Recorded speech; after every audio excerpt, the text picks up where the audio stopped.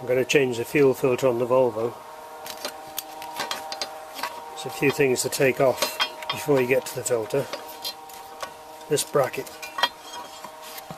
is held on with four bolts that comes off.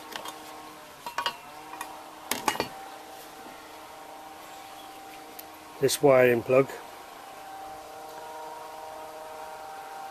These three fuel connections. That's the uh, fuel line back to the fuel tank.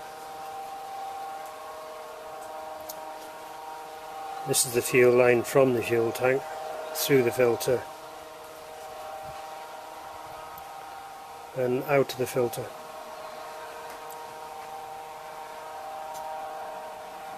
That wiring plug comes off. Drain nipple down here and an air bleed nipple there. There's also one fixing screw I've taken out here that goes into the side of the filter body. It also holds the clip on for this wire.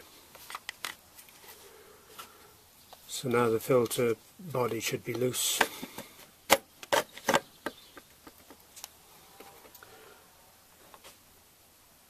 First time I changed this filter, had problems with an airlock in here.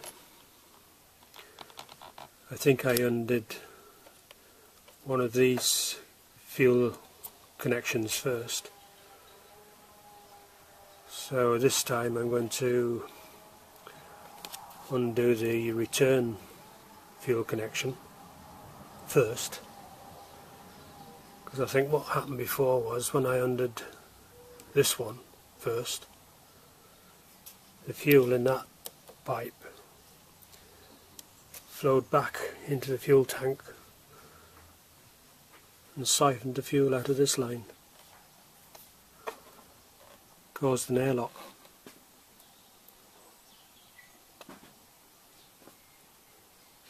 So if I undo that one first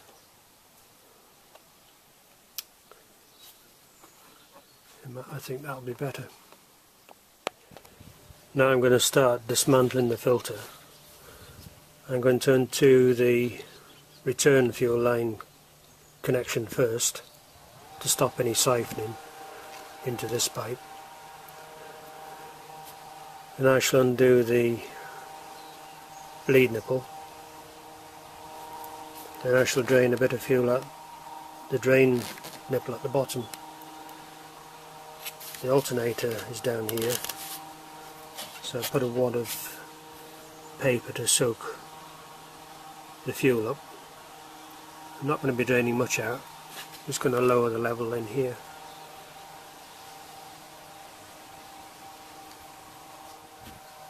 Before undoing this return fuel coupling, I've lifted the fuel pipe out of the clips and I've tied it up so that it's higher than the rest of the system. So that when I undo it I shouldn't get any spillage. When I undo that the fuel in this line is going to siphon back into the fuel tank. I've got that coupling undone and this line is still full of fuel this is where you don't want airlocks. When I undid this I did hear the fuel in that line run back into the tank and I heard the air going in behind it. So now I'm going to slacken the bleed screw on the top and drain a little bit of fuel out the bottom catch it in that paper down there. Drain some fuel out. Got these connections undone.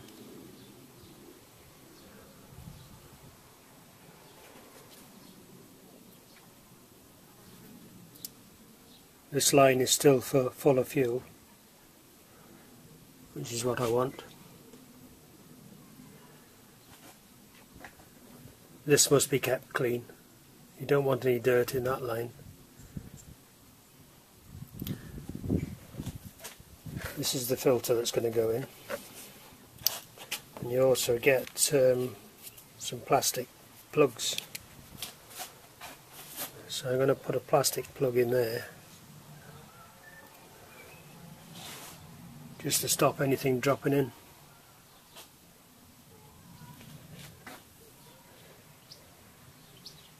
Now I'm going to lift the top of the fuel body off this unscrews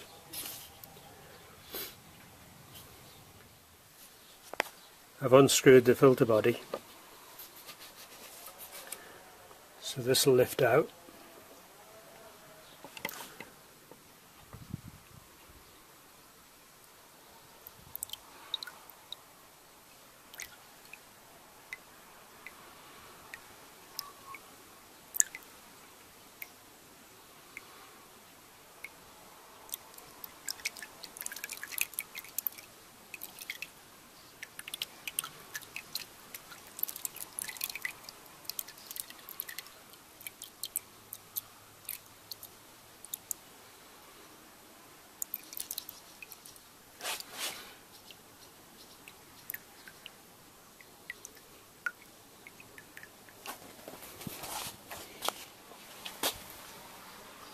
I'll let that drain for a minute or two.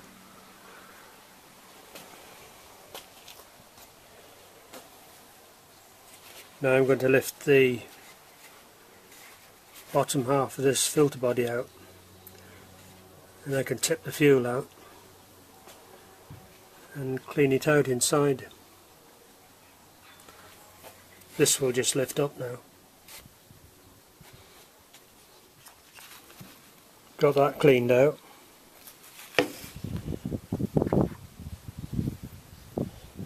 I've also taken the little drain nipple out I've cleaned that blown that out with an airline. Make sure there's no bits in there.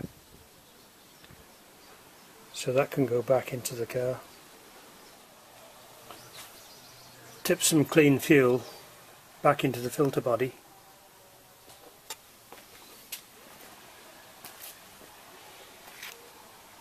That's the new filter. And that neck there just pushes into that hole.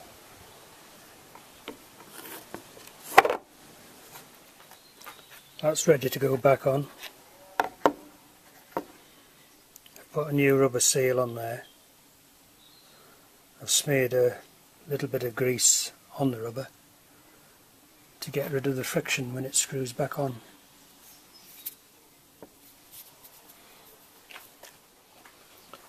Got that back together with all the fuel lines connected. Now I'm going to suck the air that's in here suck it out through the bleed nipple I'll put a piece of clear tubing on there. I'll put a bit of PTFE tape around that thread or else I'll just be sucking air through the thread. That's the thread sealed.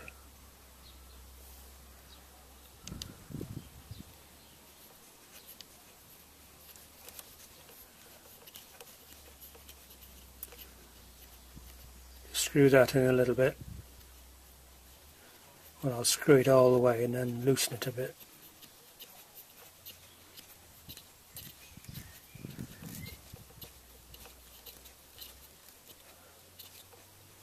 Uh, that's down. Undo it a couple of turns. Well, that'll do. Now I shall um, suck the air out, which should bring the fuel up this line out of the fuel tank and fill this up to the top.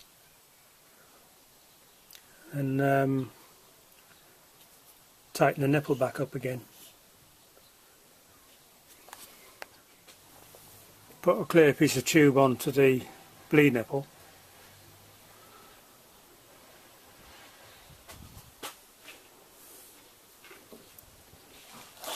I'll suck on there until I see fuel coming up here.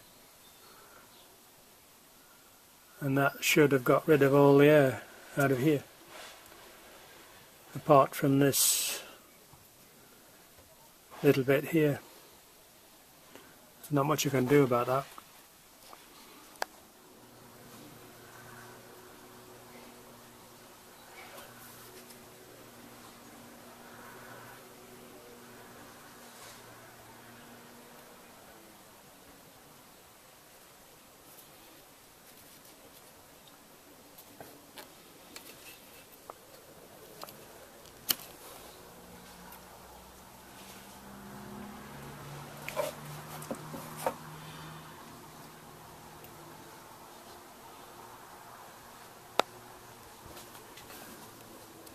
Right, got the air out of there. That's full of fuel. Up to there.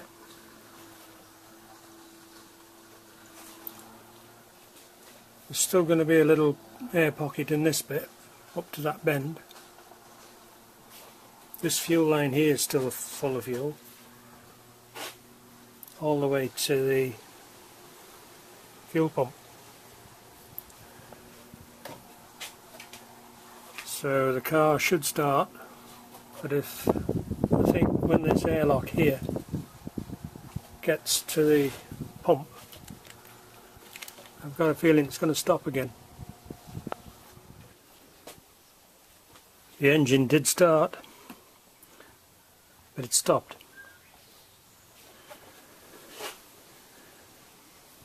You got fuel in this line. So there's no air pocket here. But there's an air pocket in this bit. So the air pocket that was in here has moved into the fuel pump. So now I've got to try and get rid of that. So I'm going to disconnect the fuel return pipe which goes back to the tank and pull a vacuum on this pipe. With a bit of luck I shall be able to draw the air pocket through the pump by pulling a vacuum on, on this pipe. Right, I'm going to try this. I haven't got a um, an ideal vacuum pump. So what I've done, I've threaded a piece of clear hose through the middle of a vacuum cleaner hose. And that goes inside the vacuum cleaner tub into a into a bottle.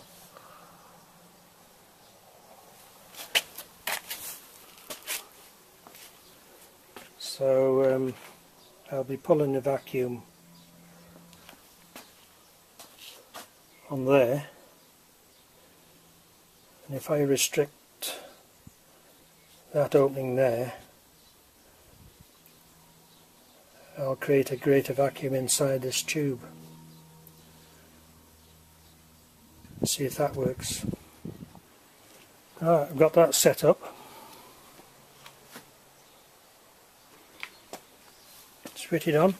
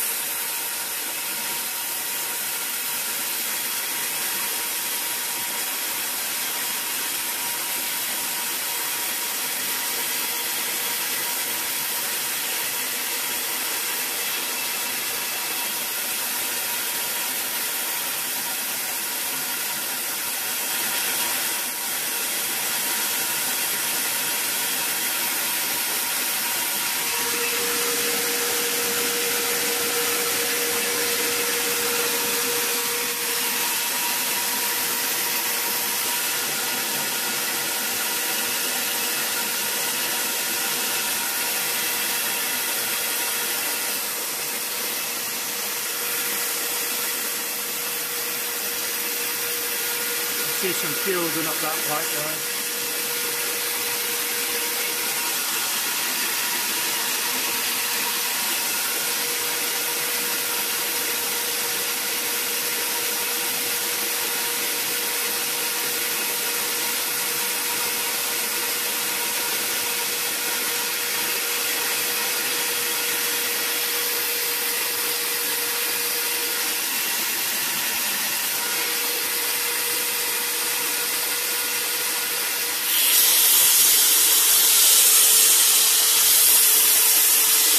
see the towel start.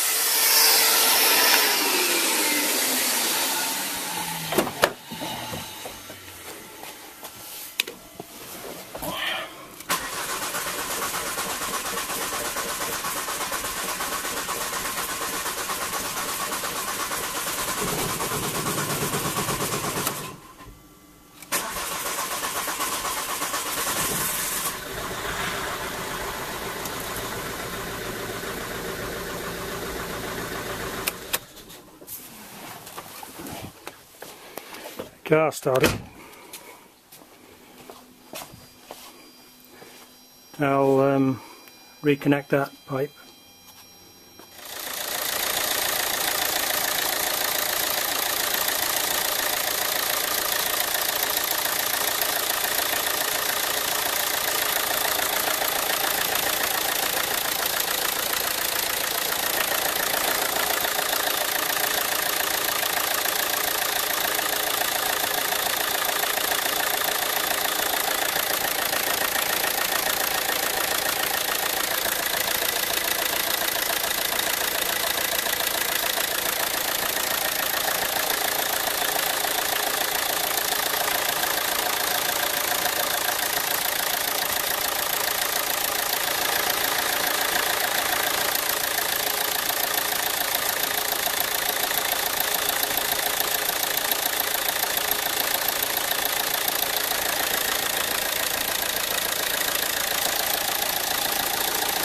That run for a while.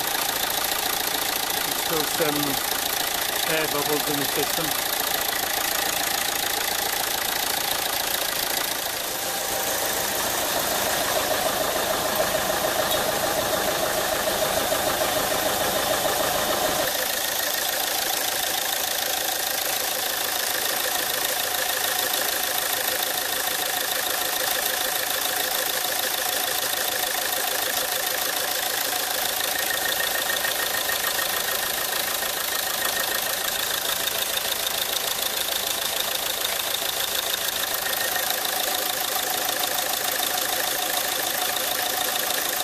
Starting to clear now. So that should be okay. I'll finish putting the everything back together. Just clip to go on here and the bracket on the top here.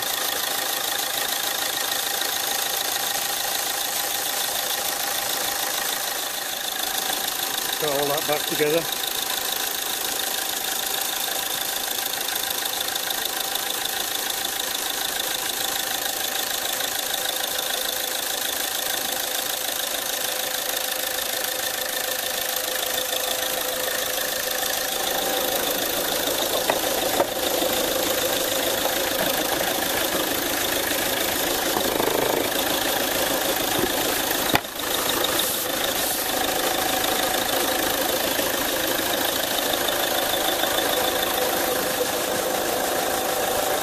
Using that vacuum cleaner isn't ideal. Certainly wouldn't be safe with petrol. Petrol fumes going through there wouldn't be very good.